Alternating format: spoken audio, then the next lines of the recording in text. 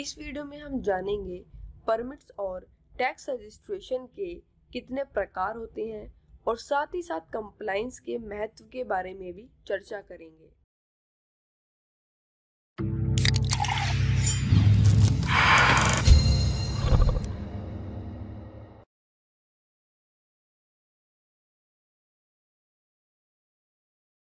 अब जब हमने अलग अलग टाइप्स के परमिट्स को समझ लिया है ये जानना ज़रूरी है कि आपको कितने टाइप्स के टैक्स रजिस्ट्रेशंस करने चाहिए, जिससे ये पक्का हो जाए कि आपको आपके बिज़नेस चलाने में कोई प्रॉब्लम्स नहीं आएँगी, खास तौर पे कानूनी मामलों से संबंधित। स्टार्टअप के नज़रिए से ये सोचना आसान है कि एक स्टार्टअप होने के नाते हो सकता है फ्यूचर में आपकी तुरंत कमाई ना हो सके, और टैक्स के नज़रिए से तुरंत रजिस्ट्रेशन करने की ज़रूरत नहीं पड़ती। असलियत में दरअसल बात कुछ और ही होती है। उदाहरण जैसे एक बैंक अकाउंट खोलने के लिए भी पहला डॉक्यूमेंट जो आपको जमा करना पड़ता है वो है परमानेंट अकाउंट नंबर यानी पैन और इसलिए ज़रूरी है तैयार रहना और इन सारी टैक्स रजिस्ट्रेशन को भी तैयार रखना। चाहे आपका बिज़नेस प्लान कुछ भी क्यों ना बयां करता हो और उससे कितनी कमाई होती है। दूसरी ज़रूरी चीज़ है आपका टैक्स डिडक्शन अकाउंट नंबर क्योंकि आप अलग अलग सर्विस प्रोवाइडर्स को पेमेंट करेंगे और ये होना तब ज़रूरी होता है जब आप टैक्स काटते हैं। टैक्स को सोर्स में काटना पड़ता है जब आप थर्ड पार्टीज़ को पेमेंट कर रहे हो और पेमेंट्स को डिडक्ट करके सरकार को डिपॉजिट करते हैं तो ज़रूरत पड़ती है टैन की। तो एक बार फिर ये कुछ पहलुओं पर आ जाता है और अगर आप पेमेंट्स के हिसाब से पेमेंट्स कर रहे हैं, या तो आपके पास एक सर्विस टैक्स होगा या फिर आपको टीडीएस का पालन करना होगा। तो किस तरह इनमें फ़र्क किया जाए? तो एक डायरेक्ट टैक्सेस नाम की चीज़ होती है, जो तब होता है जब आप डायरेक्ट टैक्स भर रहे हो, जब पैन होता है टैन की ज़रूरत पड़ती है टैक्स को सोर्स पर काटने के लिए। और फिर होते हैं इनडायरेक्ट टैक्सेस जो आपको कुछ सर्विसेज़ पर भरने होते हैं, और हर तरह की सर्विस में सर्विस टैक्स की ज़रूरत पड़ती है। हालाँकि सर्विस टैक्स को लागू करने के लिए आपकी कमाई एक खास अमाउंट के पार जानी चाहिए। परमिट्स और रजिस्ट्रेशंस के अलावा कंप्लायंस का भी खास ख्याल किसी भी कंपनी को रखना चाहिए। इसीलिए आपके लिए ये बहुत ज़रूरी है कि हम गहराई से इस बात को समझें और डिटेल्स इकट्ठा करें। मैं हूँ एक प्रोडक्ट गाय एक टेक गाय और साथ ही मैं सेल्स और मार्केटिंग भी करता हूँ। मेरे लिए सबसे बड़ा चैलेंज रही है कंप्लायंसेस मैंने कभी उन पर ध्यान नहीं दिया। आ, लेकिन अगर ऐसा ना हो तो बाद में प्रॉब्लम्स को सॉल्व करने में काफ़ी वक्त लगता है। अगर आपके पास कंप्लायंसेस नहीं है तो बहुत से इन्वेस्टर्स आपकी कंपनी में इन्वेस्ट नहीं करना चाहेंगे, क्योंकि आप लोकल रेगुलेशंस के हिसाब से नहीं चल रहे। तो ऑन्टरप्रीनियर्स के लिए मेरी एक ही सलाह है कि शुरुआत से ही आप कंप्लायंसेस का ध्यान रखें, फिर चाहे आप कितने भी छोटे स्केल पर काम क्यों ना कर रहे हो, क्योंकि हर स्टेज पर कंप्लायंसेस बहुत ज़रूरी होती हैं। कंपनी का चाहे कोई भी लेवल हो हर लेवल पर आपको अलग बजट रखना है कंप्लायंसेस के लिए। आ, फिर चाहे आप इसके लिए किसी को हायर करें या फिर एक कंसल्टेंट रखें कंपनी सेक्रेटरी सीए अगर फुल टाइम नहीं हो सकता तो आप एक कंसल्टेंट को पार्ट टाइम बेसिस पर हायर कर सकते हैं। कंप्लायंस एक कामयाब बिज़नेस बनाने की एक बहुत ही अहम कड़ी है।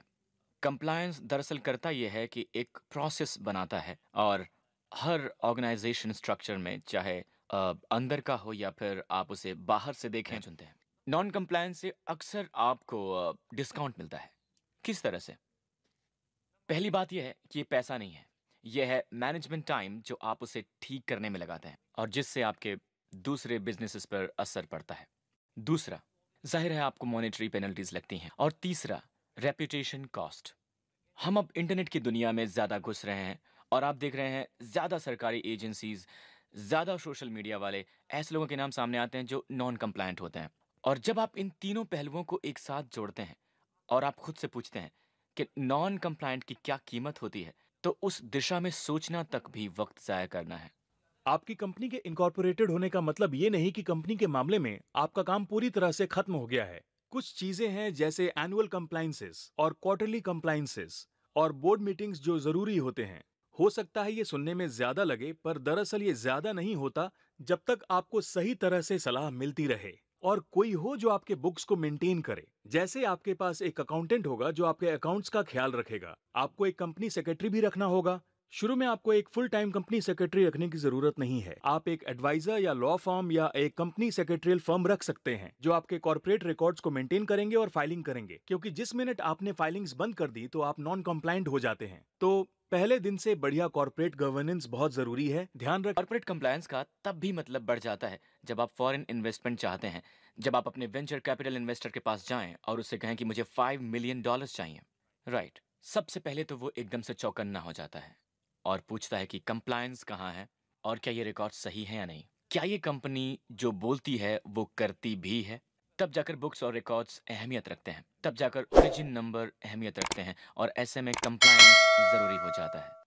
शुरुआती स्टेजेस में ज़्यादातर एंटरप्रेन्योर्स कम से कम लोगों को सैलरी देना चाहते हैं, लेकिन कम लोगों को सैलरी देने का ये मतलब नहीं है कि वो सही तरीके से सारी सर्विसेज़ दे पाएँ। और इसीलिए ऐसे में आपका एक नया रिश्ता जुड़ता है कॉन्ट्रैक्ट लेबर एजेंसीज के साथ। तो कौन हैं ये लोग? तो कॉन्ट्रैक्ट लेबर इंडिया का एक बहुत बढ़ता कॉन्सेप्ट है। और इसके लिए जब आप एक कॉन्ट्रैक्ट लेबर कॉन्ट्रैक्ट से जुड़ें, आपको ध्यान देना होगा कि आपकी कॉन्ट्रैक्ट लेबर एजेंसी के पास बिल्कुल सही लेबर रजिस्ट्रेशन हों। अगर ऐसा ना हुआ तो जो फ़र्ज़ कॉन्ट्रैक्ट लेबर का उन लेबर्स के प्रति है, वो सारा का सारा जिम्मा आपके ऊपर आ जाएगा। आपको निपटना होगा उससे। कॉन्ट्रैक्ट लेबर कॉन्ट्रैक्ट से जुड़ने का मतलब यह है कि लेबर्स के साथ होने वाली ऊंच नीच का ख्याल और जिम्मा कॉन्ट्रैक्ट लेबर एजेंसीज के सर होगा।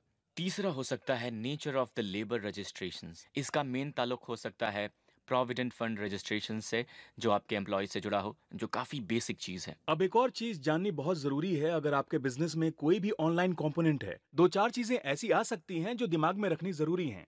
जैसे आपके पास आपकी कंपनी और उसके कंप्लाइंसेज हैं, वैसे ही ऑनलाइन प्रेजेंस में कई कॉम्प्लाइंसेस चाहिए। कोई भी रेगुलेटरी अप्रूवल नहीं चाहिए होता है, लेकिन एक चीज़ ज़रूरी है। डेटा प्राइवेसी और प्राइवेसी पॉलिसीज़ और आप किस तरह से कस्टमर से इंटरेक्ट करेंगे जो वेबसाइट पर आने वाले हैं।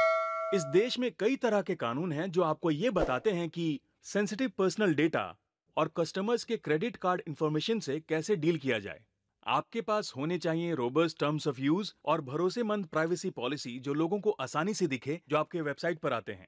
और ये सब वकील द्वारा परखा जाना चाहिए क्योंकि आज वकील इन पॉलिसीज़ को देखते हैं और अपने क्लाइंट्स को सलाह देते हैं कि इनमें क्या होना चाहिए क्योंकि कानून बदलते रहते हैं। और आपको ध्यान रखना चाहिए कि आपके टर्म्स ऑफ़ यूज़ और privacy policies up to date हों और उसमें किसी भी तरह की कोई आ, खामी बिल्कुल ना हो।